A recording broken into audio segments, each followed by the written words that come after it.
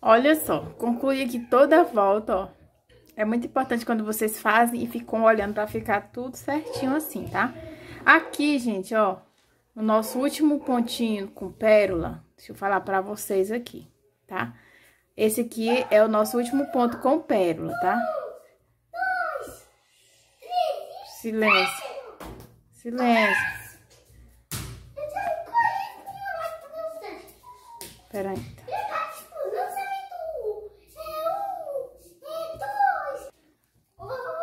Aí, aqui, ó, nós vamos prender a nossa última bolinha. Só que aqui eu comecei com um ponto baixo, vocês lembram?